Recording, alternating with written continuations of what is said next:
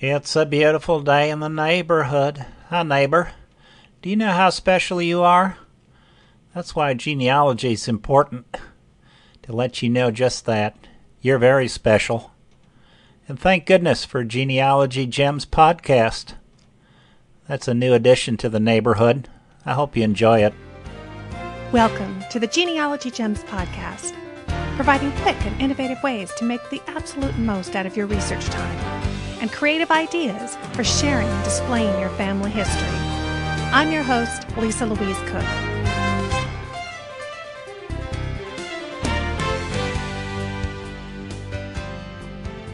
Recognize that voice? Hey, it sounds like Mr. Rogers is a genealogy fan. Actually, that is the cousin of today's very special guest, Kathy Lennon. Now, remember in episode 48, in part one of my interview with Kathy, where she was telling us about a cousin that she met who just happened to be Tim Russell, the wonderful voice actor from the radio show and movie A Prairie Home Companion? Well, I got a chance to talk with Tim recently, and he put together that little intro for the show. And next month, you'll be hearing our conversation about his love of family history and antiques his amazing career in a very nostalgic profession of being a radio actor. Not too many of those around anymore, are there?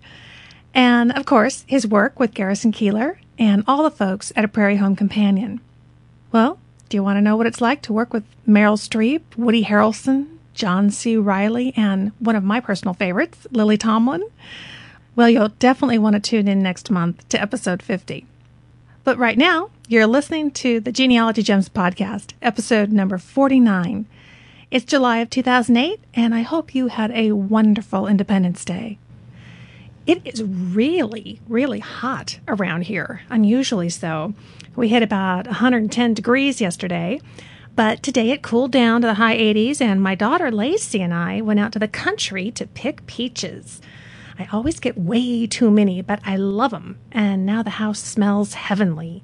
So I'll be peeling and pitting for the next few days, but I can't wait for all those things that my grandmother taught me how to make peach jam and peach pie and freezing peach slices. We'll have peaches coming out of our ears. So. And it's also time for the county fair in my neck of the woods. And uh, I had a really unique opportunity last week to do something at the fair that I've never done before. Uh, no, I wasn't bungee jumping. Um, I told the premium members about it in a recent episode, but I wanted to mention it here as well because I just thought this was wonderful. Our county fair is running right now, as I said, and one of the local area genealogical societies put together a genealogy booth in the technology exhibit building that they have at the fair. And they have a really nice large section kind of sectioned off in the building. And there are three computers set up and some big maps up on the walls. And so when visitors enter the booth area, uh, they're welcomed by a greeter someone from the local genealogical society and they're encouraged to mark on one of the large maps with a pin to represent you know where their ancestors have come from and then if they want to learn more about their family uh, they fill out a pedigree chart and they got to spend several minutes with one of the three volunteer researchers at the computer. Well, this was my first time volunteering, and I have to say, I had a fantastic time. You know, there are many, many things that we do as members of genealogy societies, and I really think that something like this is one of the best activities I've come across. The visitors were, of course, thrilled with anything that we were able to find for them, but I think the real thrill was for those of us who were volunteering as researchers. It is so fulfilling to sit face to face with someone who really hasn't delved into their family history before and be able to give them something tangible, you know, like a printout of a, a census record or an immigration record, um, as well as something intangible, which is, of course, a new and exciting appreciation for their family history. Well, just about everyone who visited the booth walked away excited about what they had found and uh, anxious to continue on when they got home. Well, we volunteered in three hour shifts, and I tell you, the time just flew by. I was really surprised. And it was such a wonderful experience. And my hat is off to those hardworking and dedicated folks who put the whole thing together. You know, the fair is open for two weeks, and the booth was running daily from 10 a.m. to 8 p.m. They had three researchers and a greeter constantly on staff. So you can imagine the manpower and the organization that would be required to pull that whole thing off. But from what I saw, it really brought awareness to genealogy, both with the visitors as well as the attention it attracted in the local newspapers, which is always a good thing. And I really enjoyed also getting to know the folks in a neighboring society and getting to work with them. You know, that doesn't happen very often. Um, I think projects like this are really the kind of things that will help genealogy societies survive in the computer age.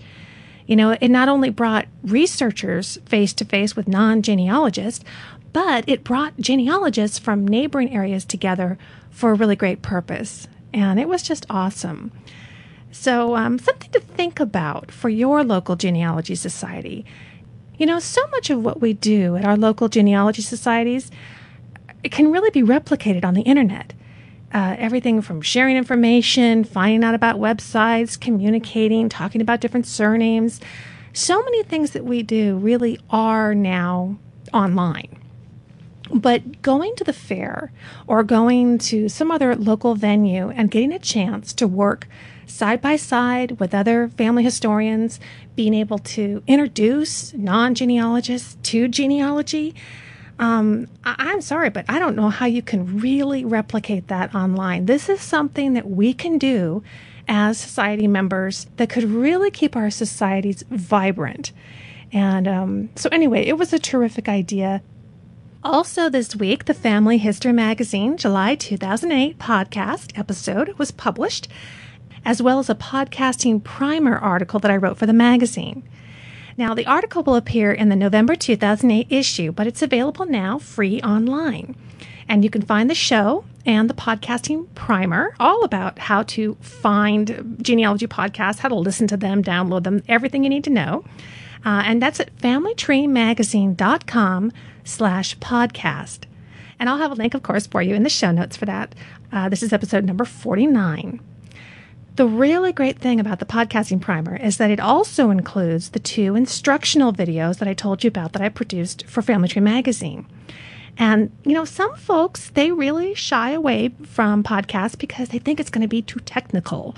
And uh, I can appreciate that. It's not always really user friendly technology when you're first getting started. But I am sure that those folks will find that the article and the videos will explain everything and walk them through finding and listening to genealogy podcasts, really step by step. So I'll have a link in the show notes directly to the primer so you can easily share it with your friends and your genealogy society. And in fact, it would be a great resource for you to share with the editor of your Genealogy Society newsletter. Newsletter editors are always looking for things to include in the newsletters, and this would benefit everybody in your group. So I encourage you to do that. Well, enough about what I've been doing. It's been busy, busy around here, but um, I have been having a lot of fun hearing about what you all have been doing. And so let's head to the mailbox.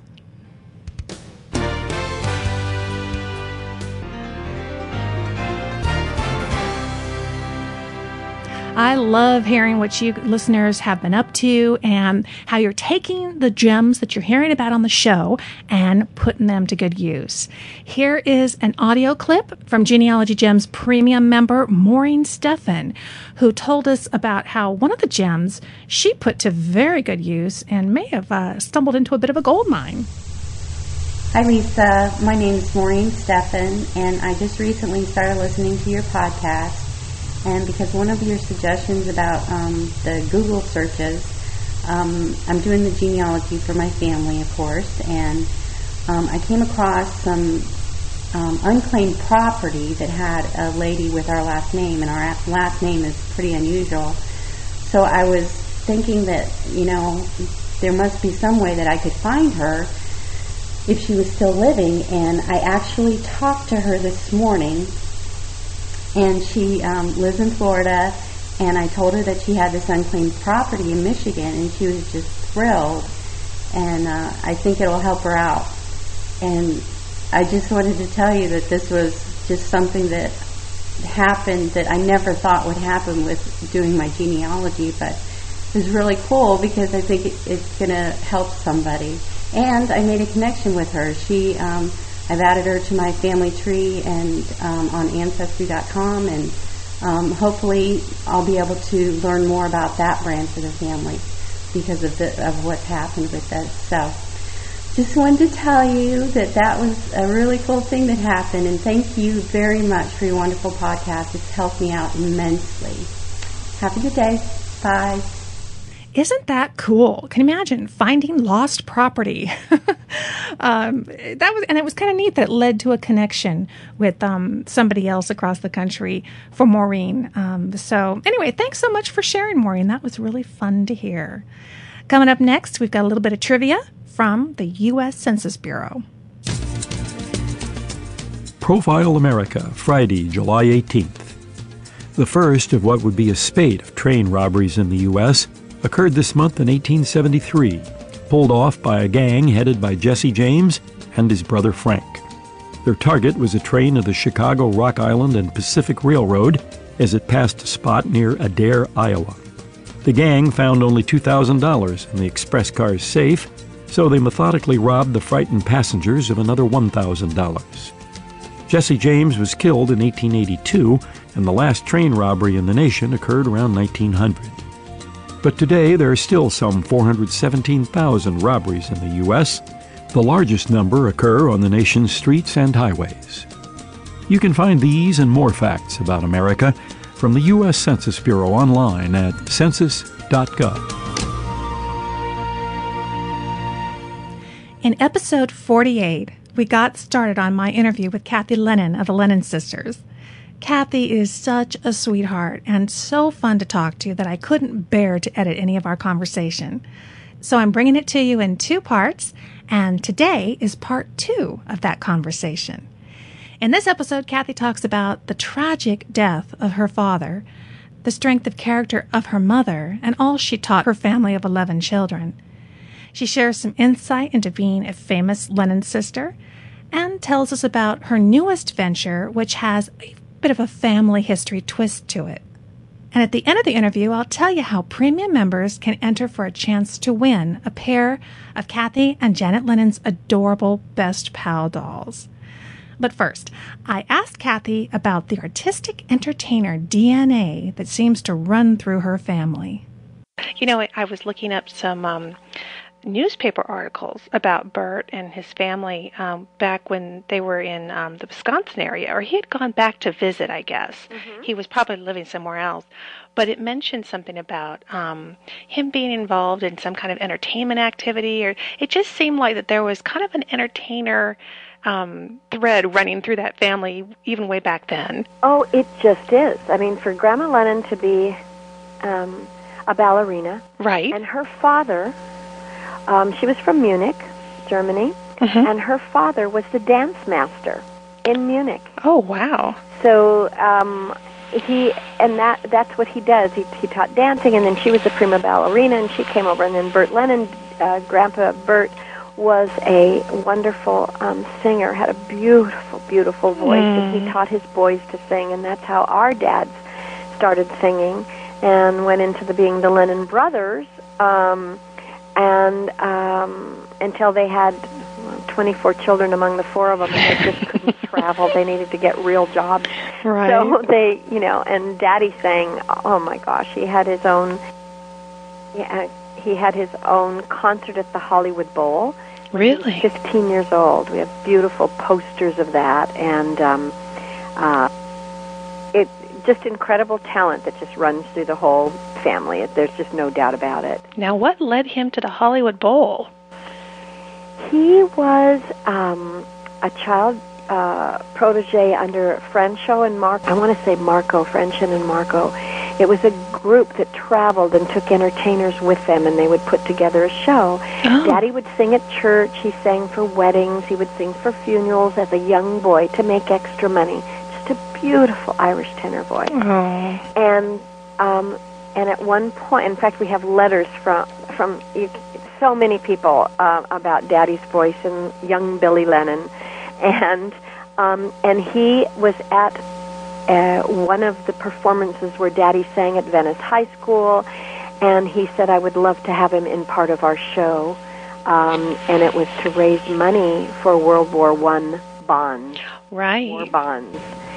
And so Daddy sang at the young age of 15, and we have it's a, it's a beautiful, beautiful billboard that's all folded up, but it says Master Billy Lennon, you know, Oh. soloist for, and then it says the Hollywood Bowl. So he had his own concert, and um, and then many other things also. And then he also was asked to sing the song "Dear California" uh, for President Herbert Hoover um, because he was a, a son of California, and he, when he became president, they wanted to send him this record of "Dear California." So we have pictures of they asked Daddy to sing it, and we have pictures of Daddy um, recording the the record, and then him handing it to the conductor of a train. This record Oh, my goodness. going to the president, and then we have a picture of the president sitting with his dog, and and it's signed to Billy Lennon. Thank you so much, President Herbert Hoover.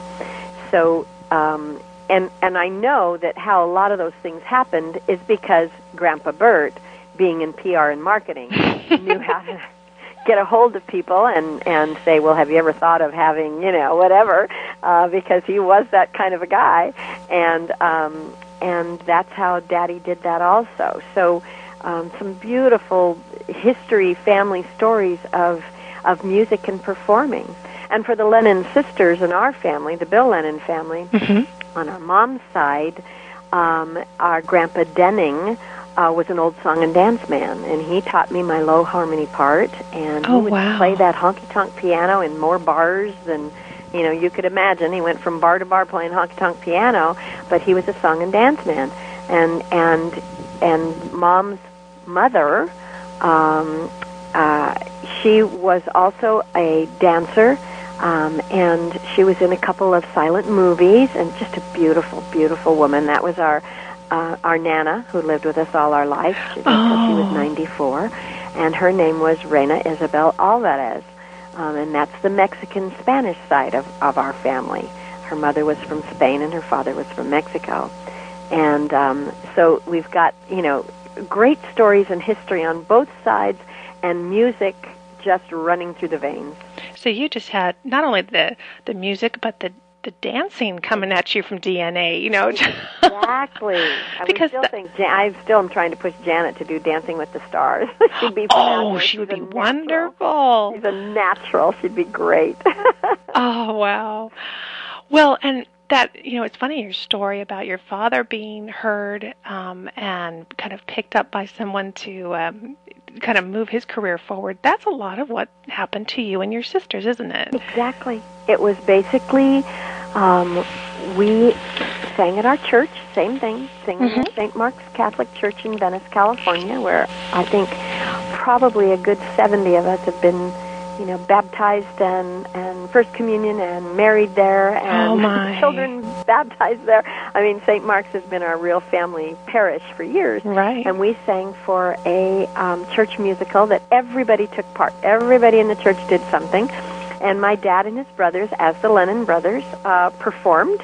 And they said, wouldn't it be fun to have the girls sing with us in one number? So we did a little song called uh, Them Bones. And it was uh, Them Bones, Them Bones, Them Dry Bones. Mhm. We dressed as little skeletons. and they had little outfits on with bow ties, like a barbershop quartet look. And we were little bones. And we did with them. And we sang with them, harmony and all. And then we also did um, a Scottish medley, and we sang that. And in the audience, and this was about in 1954, 53 and 54, so we were little. I mean, Yeah. six, I think, at the time. And, and in the audience, um, or seven, and the audience was Daddy's boss. Uh, Daddy was a milkman at that time for Edgemar Farms, one of the things he did. Mhm. And um, he said, gee, you know, your girls sing so great. Would they consider coming and singing uh, for uh, a Lions Club or Rotary Club or the different community clubs? And uh, we'll pay them like $10. And at the time, there were eight children and mom and dad and our grandmother in a two-bedroom house. Oh my goodness. And Daddy said, you know, came to us and said, "Would you girls consider doing this? If you did, we can put the money away, and maybe make a dormitory uh, in the back of the house with like a bed and a dresser and a bed and a dresser, and you girls could have your own place." And and uh, we said, "Well, that would be fun. That would be great." So we started to do a couple of these community club uh, places that we would sing and make ten dollars here and twelve dollars here, and and one night uh, we were asked to sing um, for a Halloween party, and uh, Larry Welk Jr. at the time, Lawrence Welk's son, Right. um, he was 15 years old. Our sister Dee Dee was 15 years old, and she, he also went to St. Monica's High School, where uh, Dee Dee was going to school, and he invited her to his Halloween party. And she said, "I really can't go. I need to sing." And he said, "Well, what if I come pick you up?" And she, and you know, she said, "Well, you could do that." And he said, "I'll bring you up to the house." So he came to the place where we were performing and he thought she was singing just with a vocal group or some you know school mm-hmm. and realized that he heard us sing and he said i didn't know you sang with your sisters you sing really well and i'm going to tell my dad about you and at that time mr welk's national television show had been on for about six months um, on abc prior to that we had watched it um, over a local channel called KTLA in Los Angeles, and he Oh. had been on that for um, I think about a year. And so he had gone national, and she said, "I'm going to tell my dad about you." And Dee Dee came home and told us, and we didn't think much of it, and we didn't hear anything. And then about a month later, uh, Larry called one Sunday morning and said, "Dee Dee, get your sisters. I don't care where they are. Get up here and sing for my dad. He has a cold and can't get out of the house, and I've bugged him so much." um, quick, get up here. So Daddy rounded us all up, and we went up to Mr. Welk's house. And oh my gosh, Lisa, it was unbelievable. It was like a um, going into a movie set or something. This Really? beautiful old Spanish house in in Brentwood, California, and it was an old, gorgeous, gorgeous area. And we walked into the house, and Mr. Welk walks out, and he had on this maroon satin smoking jacket and he Oh, had on like slippers, velvet slippers, and he indeed had a cold, but he walked out and it was like, you know, oh my gosh, it was this movie star. oh my gosh. it was it was so incredible to all us little girls, you know. And uh, he came out and he said, "My son has been bothering me so much about listening to you and hearing you, so please sing right now." And it was like, "Oh my gosh!" No And, pressure. uh, yeah, and again, Dee Dee and Larry, they were just 15 years old, and Oh. um, so 15 and a half actually. So that's why Larry was driving. I always think, how come he was picked her up, you know? And um, so I went over and hit the note, a C, and came back, and we sang the spiritual He that had been made famous by the McGuire sisters. Mhm. He can turn the tide and calm the angry sea. And we sang that to him. And he said uh, he he couldn't believe it. He says, "If will you sing that again if I get my producer on the show, on the phone?" And he called his producer, and we sang to him over the phone. Over the phone. And and he said, uh, "I would love to have you um, be on my Christmas Eve show." And that's my first Christmas show, uh, national, and it was Christmas Eve, 1955. And we were on for 13 years every Saturday night after that. Isn't that amazing? Only audition we've ever done in our lives. Now, how old were you at that time? I was 12. How does a 12 year old handle a situation Oh, it, like that? it was amazing because I was in seventh grade and I was very embarrassed to tell any of my friends because I didn't want them to know I was on television because I thought that they would be think that I thought I was big. You know, Uh-huh. like I I was so embarrassed and and I didn't want to tell anybody and and I remember my mom sat me down and said you you because Mr. Welk asked us again and again and again and Right. I wasn't telling anybody, and then of course the church started knowing it, and everybody started talking about it. And my mom said, "You will know when your friends are really your friends, because there's going to be those that are going to be so happy for you, and they're going to love to be able to see you. Wouldn't you love to see one of your friends on television? And those that don't or make fun or tease you, well, they weren't going to be your friends anyway. So you Mhm. just need to be proud of what you're doing." And but it was really hard for me at that age. Really, that's such a difficult age anyway and um, you know, because I wasn't really uh, grown up like Dee Dee and Peggy. They were 13 and 15. I was kind of more grown up, or 14 and 15, and and Janet was just nine. So um, you know, the two of us were the little guys, and uh, always more hung out more together uh, Mhm. than Dee Dee and Peggy. They were in high school already, and we were in grammar school. So And um, I'm sure because many of my listeners have already written me and said that they um, kind of grew up watching you and, and adoring what you guys did and playing with your paper dolls. Um, what was just the experience like? Work, you know, you were working girls at a very young age and still going to school. Oh. What was it like to be a Lennon sister on the Welk's Show? Well, it, it was two things. It was a phenomenal. I've had a phenomenal career. Mm-hmm. We have sung for over seven presidents. Wow. We have, we have gone over. Uh, I think we've been to 49 of the states.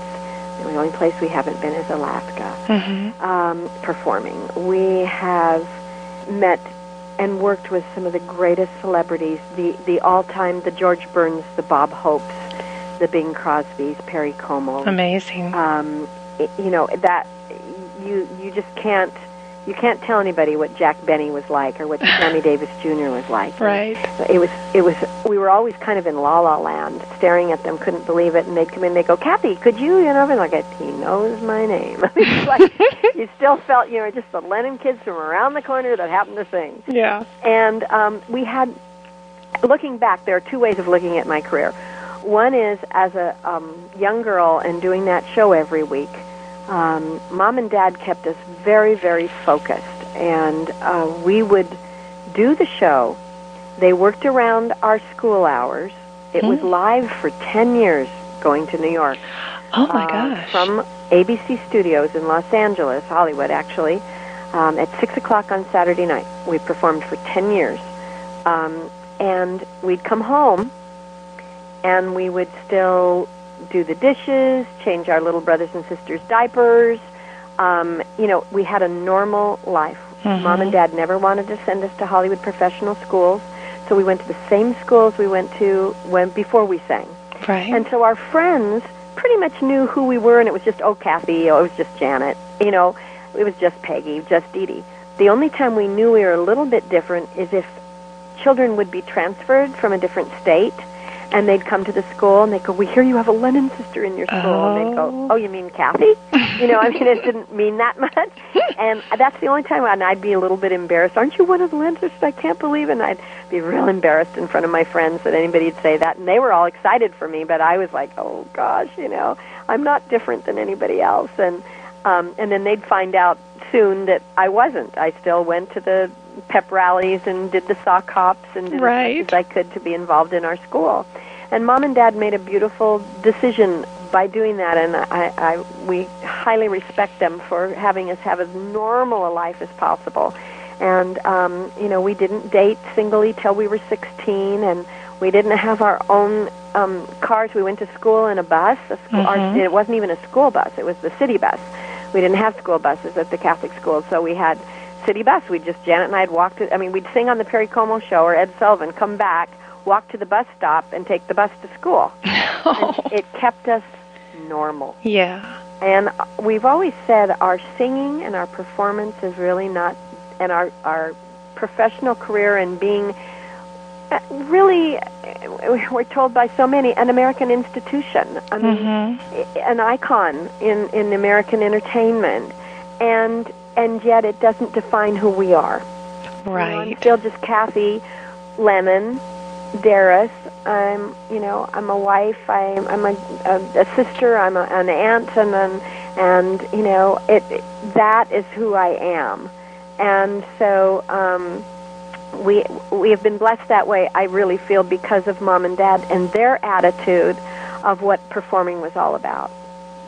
That's such a, a good point because I can imagine even, you know, these days, fame could be, you know, huge one day and gone the next, and they had no guarantees. So, what a wonderful blessing to know that you would always have that stability in your life, regardless of whatever happened with your career. And of course, thankfully, it turned out amazing. But, um, so you really got the best of both, you know, it Well, sounds we- like. we did. We we I mean we wrote a uh, autobiography called Same Song Separate Voices Oh, and um, it really pretty much tells our story, tells a lot of um, uh, history, family history, and all. Mhm. And um, we do have, uh, uh, I think I've, I've sent you off, but our, our website, the LennonSisters.com, right. and um, it has, we do sell our autobiography, and that really ha- has a lot of inside fun stories of all the things through the years and and um, and then on our family also, and the tragedies we've been through. Right. Uh, people so often think of us as living in a, a land of of perfect um, little crinoline skirts and dancing t- with an accordion and and singing and having this perfect little sweetheart life. And as much as we were, we have had a, a, a blessed life in so many ways in an incredible career. We've also, as everyone else has, we have gone through many, many tragedies. Yes. Um, one being our one of our sisters. There were actually twelve children. Um, our sister Mary, when she was uh, 16 months old, was hit by a car and killed, and we had that when Mom was uh, pregnant with our brother Billy. Um, she was like in her ninth month, and our little sister Mary was killed. And we that was one of the first tragedies in our life as to oh you know life can change so quickly Yes. and then and then within our career if it if we hadn't sing maybe this wouldn't have happened we you know you never know we do believe god's plan is perfect so you, but you never understand so much of it Mm-hmm. and and one being that if your listeners didn't know and I—I would assume you might know lisa but that our father was murdered by a lennon sister uh, fan right. and that was a you know something that it's like a movie that you see or something it's so very very difficult to realize what we went through what our family has been through and i, I look back on that and and he was a fan um daddy trusted everybody as we all did Mm-hmm. and uh, this man was demented and felt he was married to our sister Peggy, Oh. and um, he felt that Daddy was keeping her from him. And Peggy was married and have four children and expecting her fifth, and um, uh, he he was in an, a, an institution and he escaped. Oh, my gosh. And um, shot and killed our dad, and our family mom was still at home with seven children under 18 and um, so we had to just totally regroup and and the strength of mom's faith and um, the strength of our family um, could not have been held together if it were not for mom and the way we were brought up and the love of dad and mom and the love for each other. And um, it, it was a story that we don't tell very often. We Right. we do tell it in our book, uh, but it's one of those things that uh, it was one of the very first stalkers. Um, you hear it all the time. Yes. People having people, uh, you know, in the celebrity world, but this was one of the very first um, that um, ended in a in, in the worst tragedy possible, and um, so our career has been a beautiful thing, and and also along the way has been life. Mm-hmm. and um, so it, it was amazing because when we wrote our book, our autobiography, it's called. I, I think I said it's called "Same Song, Separate Voices," meaning each of us tell a certain part of a story from our viewpoint. Uh, Dee Dee looked at doing the Mickey Mouse Club at 17 totally differently than Janet looking at it at 10. Right. You know, like we were right. so excited to go to the Disney Studios and be with the Mouseketeers, and Dee Dee's friends were all teasing her about dancing on the Mickey Mouse Club. So, you know, and so the separate voices are coming from each of us in a different way of how we uh, feel about our career and what we went through. And when we did the chapter on Daddy, Daddy's death, um, it was amazing because we had not talked about it Mm. uh, for probably 10 years or 12 years. We had not even discussed it because we we just we lived it and we went on. And it was very cathartic. Uh, we would even say to each other, "What? I didn't know you were da da da da." You know, we uh, and um, it, it was um, it was very hard to get through Yes. uh, but it was um, very cleansing. And um, so, actually, even writing the whole book um, was an incredible experience. I always say everyone should write the history of their family. Everybody should write it down and tell stories, and because it is um, not only leave, leaving it for other family members, but for yourself Mm-hmm. to be able to get things out that maybe you never discussed or you never thought about or you didn't know the other one felt that way or um, uh, it we were it took us almost 10 years to write it Oh, I and, imagine. and if you could when you get the book um, because I, I would love to send one to you. Um, oh, I would love to read it. Your mom must, I know she was, must have just been an amazing woman. When I he listened to you talk about your story about your father and, and knowing the kind of responsibility she had, the kind of faith that she had, and the fact that through that kind of completely unforeseen tragedy, down to all the way of having to go back over it and writing the book, and your mom is still there, keeping you grounded, keeping you focused. Yes. Tell us a little bit. Now, she was known as Sis. Is that right? She named yes. Her brother called her sis. Her name was also Isabel, named after our grandmother. Right. Um, and um, mom, she had one brother, Danny, and um, she uh, came from a divorced family uh, when she was very young. Uh, she was like six years old, and she took care of her little brother who was four. Her mom had to work, and her dad was, uh, like I said, honky tonk, running through the bars, playing every bar in the world, Mm. uh, and um, had a little bit of that alcohol problem. So Mhm. he wasn't there a lot, and she adored him, but he was gone a lot trying to get jobs. And she was raised by her mom, who always worked for uh, See's Candy and uh, was a candy dipper like Lucy. and Nana used to be able to look in in the boxes and tell us just by the swirl on the top what kind of candy Yeah. it was. That's a little aside, but um, anyway, mom, she was an amazing woman. She went to 34 different grammar schools. oh my That's word. how often she moved. And she, because they moved with aunts and cousins, and every couple of months they were moving. And she said it was so horrible going into the principal's office that often and waiting and then being introduced to the class and saying, This is our new student. And she said, it just every time I'd have to go to school, I'd cry, you know, Mm. sit there and have to be. in 34 different grammar schools. And then she ended up going to Venice High School. And she went all years to, to Venice High School, all four years. That's the longest she stayed there. And that's where she met our dad. And dad was one of nine children. And uh, he saw her at a, at a football game.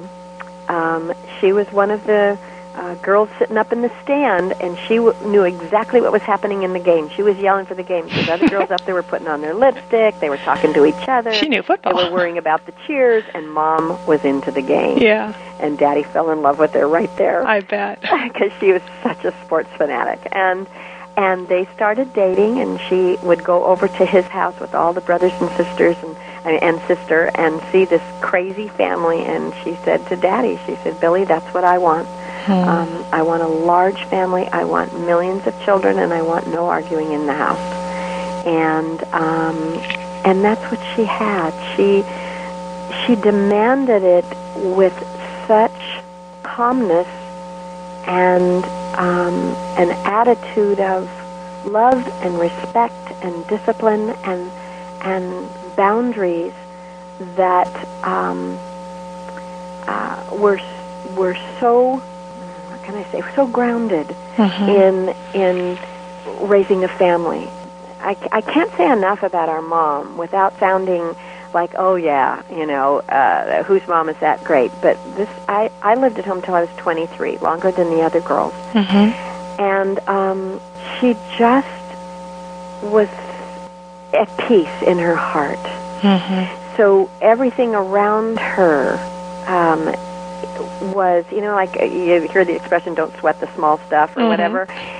She had so many big things in her life that had happened to her that she had such faith in God that she um, she was just strong to the to the degree of um, trying to put it in the words that I, I try and make you understand it.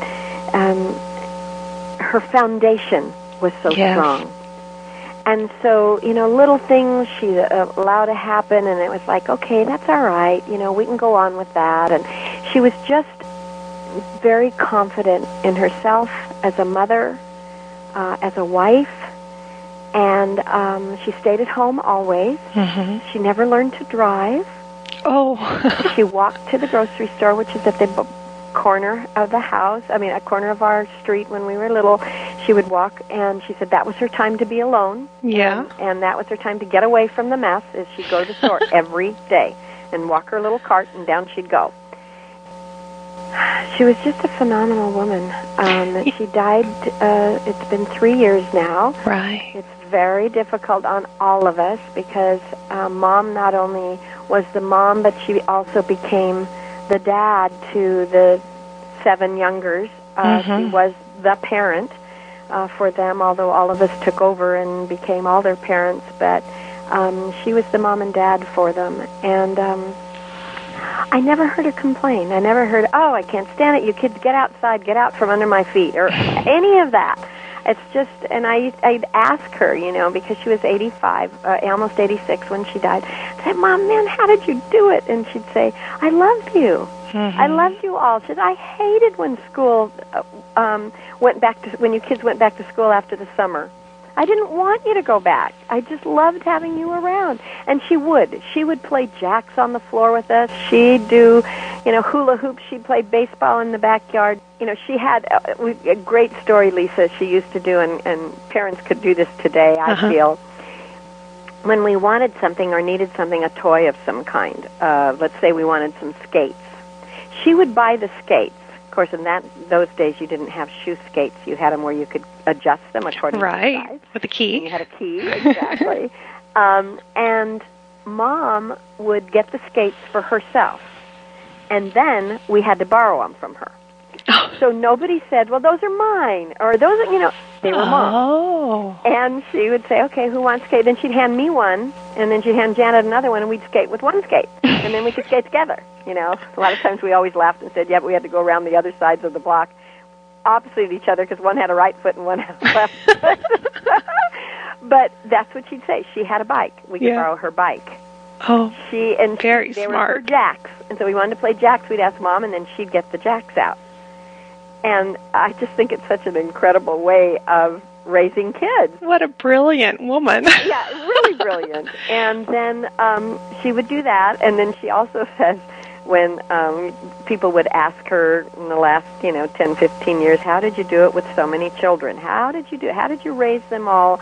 You know, and she says, and kids today, you know, they have timeouts and they've got, you know, and you and and they don't listen, and you've got to listen to their feelings and all that. And she said, well.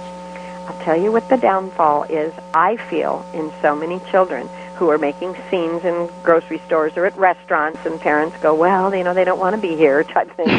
and she said it started with they got rid of the playpen, and she said ah. to me, the playpen was their first boundary, Mm. and they got to be in that, and they got my Tupperware and my wooden spoons, and they played, and I'd roll them to the next room while I ironed or whatever I needed to do. Mhm. But they stayed in the playpen Mhm. and they couldn't go pick me up, hold me, hold me, hold me. Says, Kid, women today don't have playpens. They don't use playpens. They have little porta plate that they just put them down for take their nap, but they carry them on their hip. Yeah. Or they have to, or they put everything down because the baby is needing me. And she said, and that to me was a, something that I felt that the world kind of hurt themselves and parenthood kind of changed when they got rid of the big old playpens. and it was kind of a free for all. that funny. I just think that's much as funny because they were their first boundaries. Kids don't oh. have the boundaries today that they should have. they have to learn that you're not always going to get a yes. And that's coming from a woman who probably didn't have a lot of boundaries in the kind of chaotic home a that she was growing up with. She said that she heard, you know, crying and screaming and, Yeah. and yelling and and drinking and all these things that she just said she used to hate so much. And and then she said, "I'm not going to have that." But And she's she a she's a wonderful testament to me, uh, and I'm sure we've got listeners. Uh, and I, for one, came from a home, you know, with divorce and all that, and um, you know, God gives us two opportunities. He gives us the home we were born into, and then we get this amazing second chance to create the home we want. And it sounds like your mother is a living testament to the fact that you can make a good life, even if there's some bad childhood.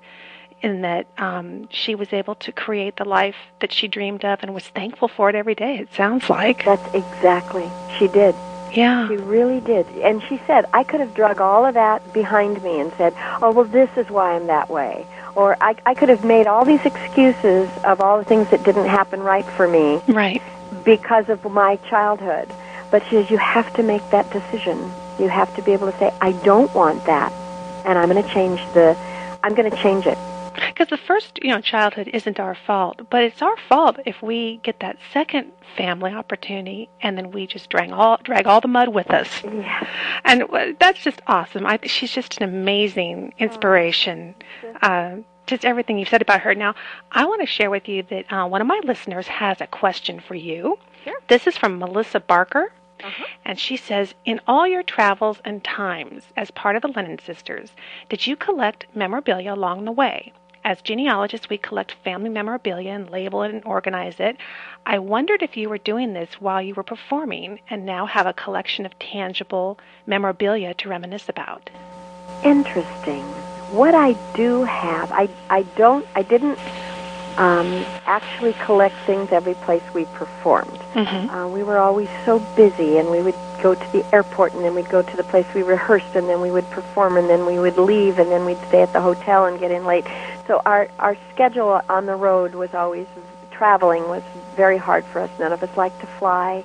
We Oh. were petrified of flying. We had terrible flights very often, and and so it was one of those where you know you you just did what you had to do, and you just wanted to get home. Mm-hmm. And um, I didn't do that, but through the years, what I have collected, I am a uh, a picture lover, uh, Mhm. photographs, and I have photographs from almost every place we've performed, and I have postcards that have us performing like in Atlantic City, New Jersey, Lennon Sisters, with like a plane flying our name in the back behind it, oh. you know, kind of thing. yeah. And I have pictures of us, you know, with the mayor getting the key to the city. Mhm. Or I have I have one that you you'll crack up and this is what I have pictures of. So this I guess you could say picking up memorabilia of what our road trips were like, not necessarily one particular thing that I would choose, like a thimble or, you know, something like that. Right. But um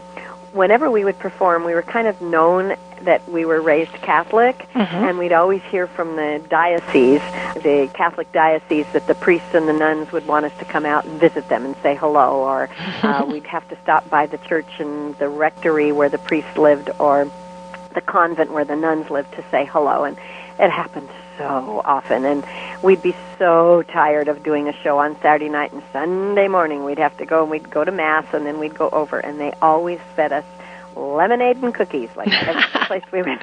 lemonade and cookies. How'd you keep those amazing figures? I know. and We'd look at that and go, oh, we'd have to be nice to them. and um, I think, and so um, I have pictures of us with so many nuns and so many priests, and we still pull those out every once in a while and say, how many nuns and priests? And we'd always have them pray for us to pray for our flights. So since we're all still here, evidently it worked. yes, it sounds like it.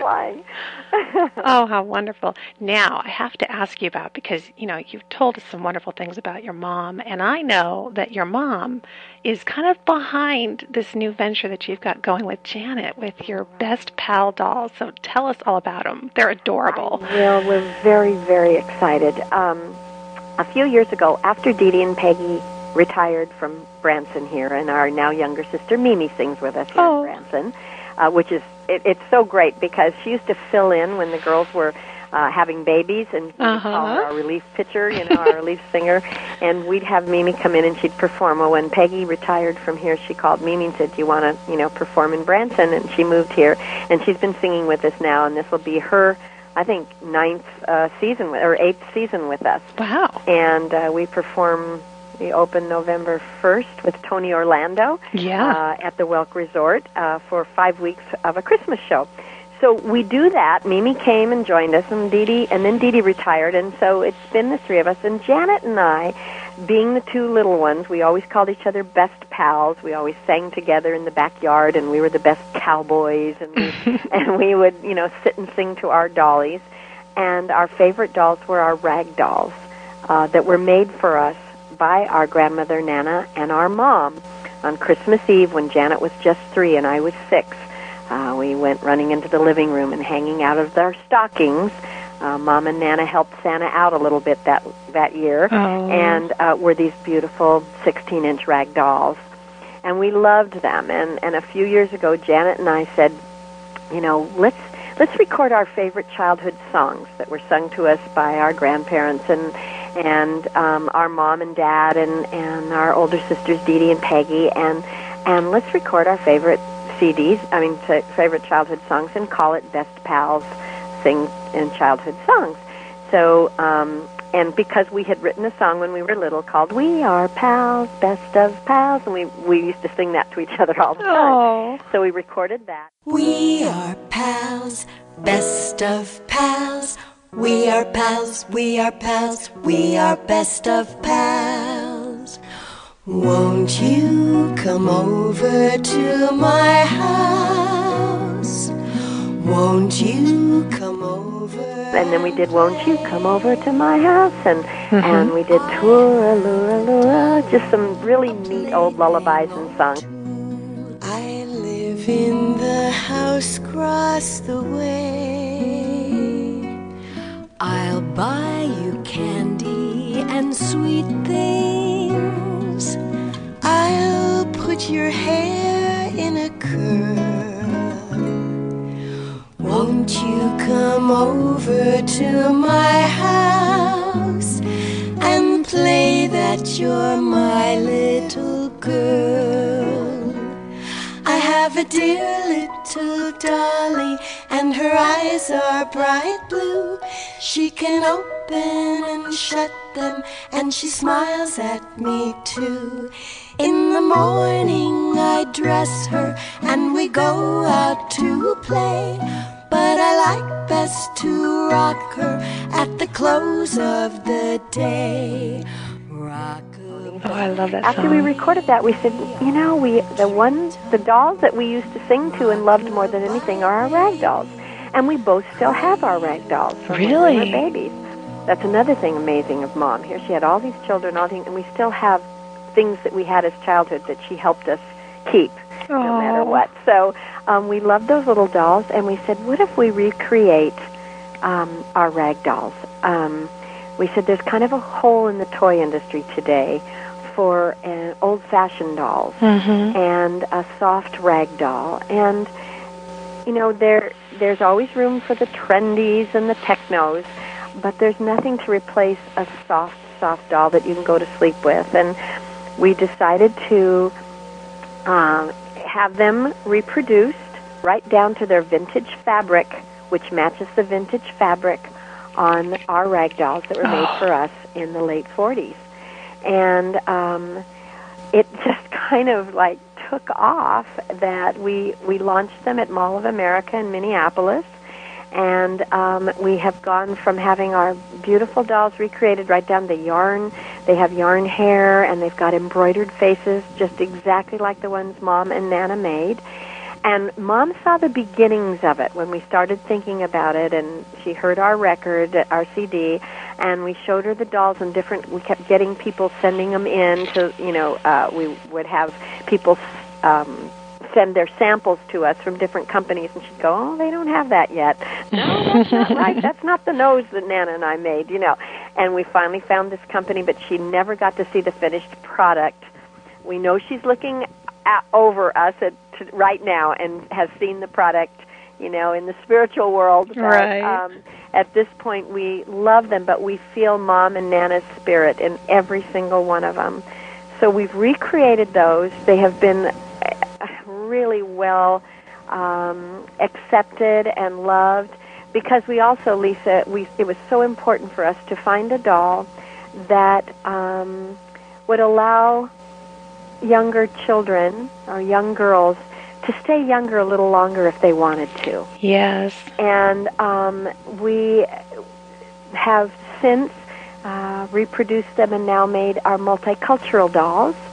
And we named um, the lighter brown skin with brown hair after mom. We called her Isabel because mom being of Mexican descent. Right. And we have Isabel, and then we have the darker skin uh, more Afro American, uh, is Sophia. And then we have Lily, who is um, real pale skin with black, black hair. So you have, you know, all the different color skins and different color hair, and, and they're all 16 inch rag dolls, the embroidered faces, and uh, they also have uh, little, their dresses are also um, retro. Um, Isabel is wearing one that I had in my first grade, just like my first grade dress. Oh, wonderful. Yeah, and then um, and then we made them little dollies. Uh, Janet's little granddaughters came in and said they have to have dolls of their own. and they've kind of been pushing all our samples along. Uh-huh. and they they have to have them. So then we made the little tiny Best Pals doll, and they come in a tiny little suitcase um, that kids carry. In fact, people who have been buying them said they call them their church dolls because if they drop them, they don't make noises. Oh, yes. that little suitcase in the car with them, and um, and then we have uh, because of Janet's grandchildren, we have the little Best Pals pets. We have a little uh, dog which is called Stinky Puppy, and then we have a little Mitty Kitty. And they come in a little bag, and we have Christmas dolls that are in red and green velvet and they have their little Christmas dolls that go with them that are little five inch dolls. And um, Janet and I recorded our Best Pals uh, Christmas album. And uh, it's so good because Janet's grandchildren uh, sing on it with us. Oh. It's very precious. And so, and all of those, uh, we're right now in the middle of um, recording our third CD.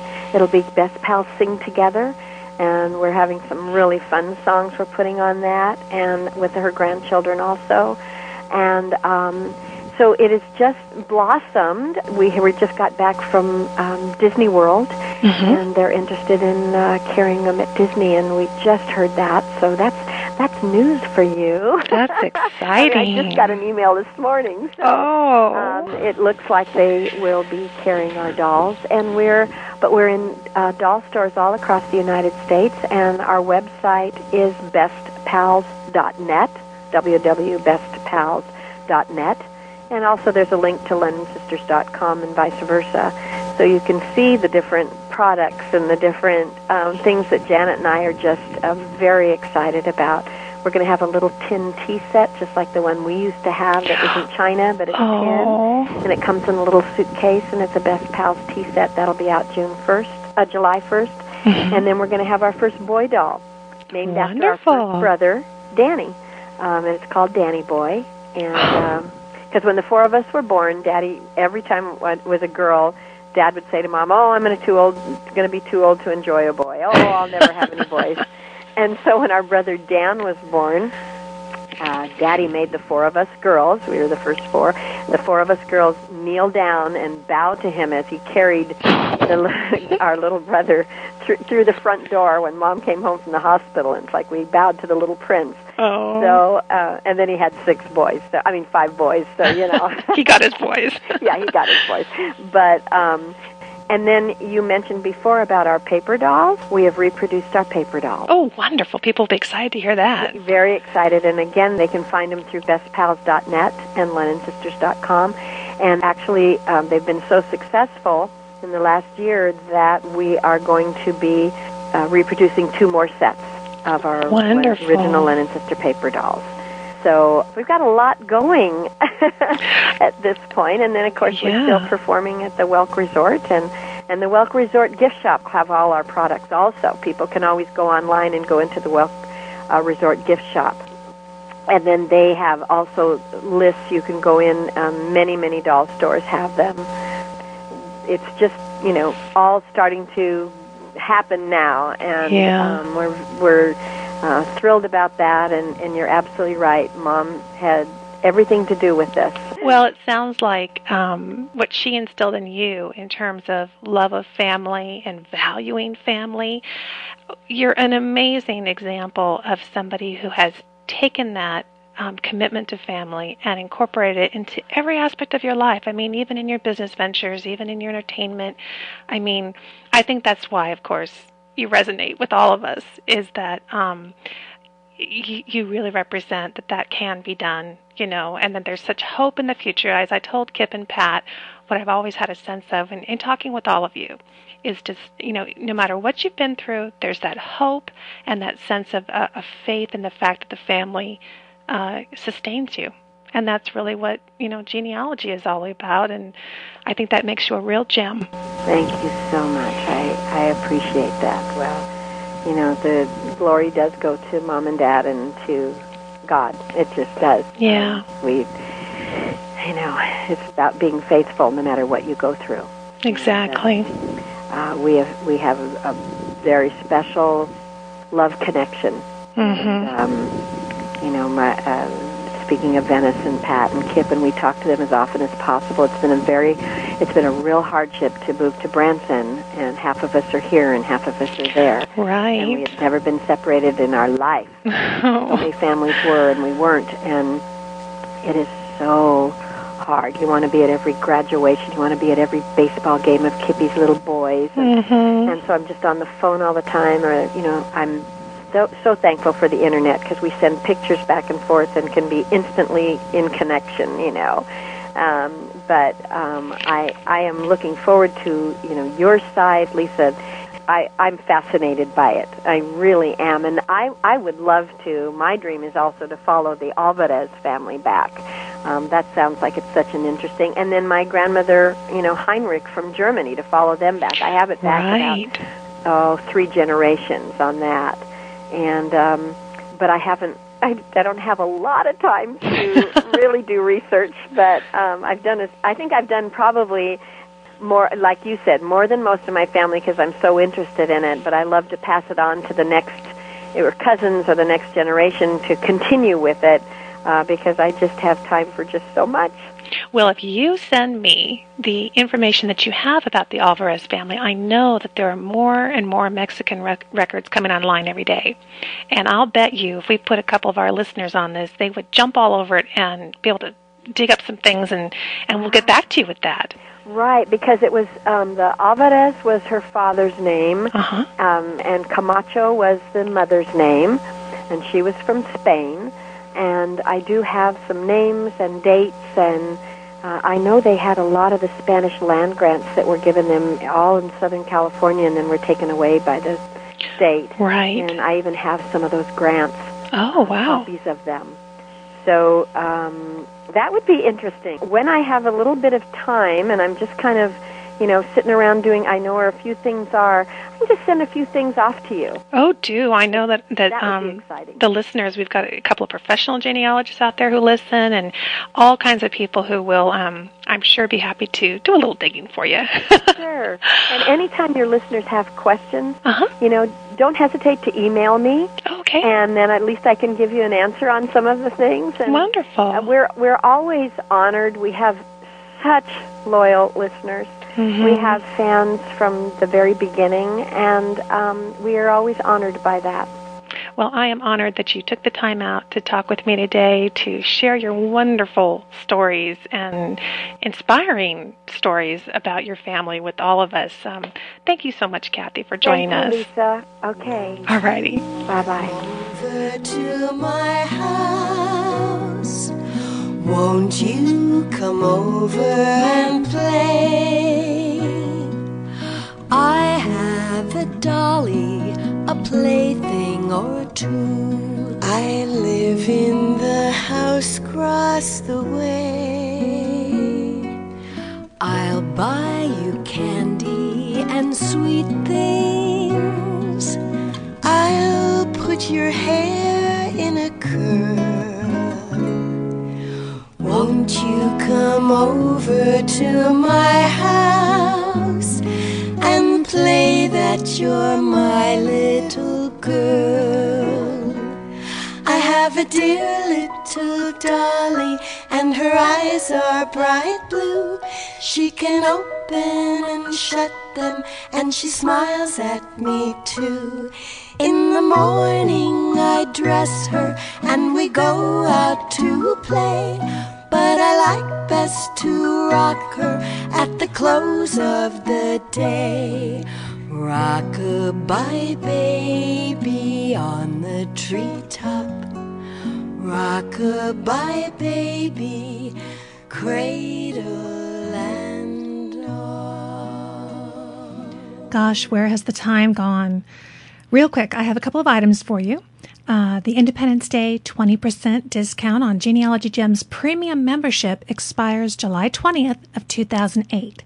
I've extended that deadline from the 15th because this episode is actually coming out on the 14th of July, and I want to give you a couple more days to take advantage of that. And currently, one of the great advantages of being a premium member is that you'll be able to submit ancestor handwriting samples to be considered for an upcoming handwriting analysis by Paula Sassi, our favorite certified graphologist. I'll be selecting handwriting samples that I think will be interesting to all the listeners. And you can get more information about that from premium episode number seven. And of course, now through July 31st, 2008, premium members can enter to win a pair of Best Pal dolls in a Best Pals tote bag autographed by Kathy and Janet Lennon of the Lennon Sisters. So, members, you need to head over to the members forum to post a story of an ancestor's best pal or a memory of one of your own best pals. So, lots of fun things to get involved with. But for now, I want to say thank you for listening, friend, and I'll talk to you soon.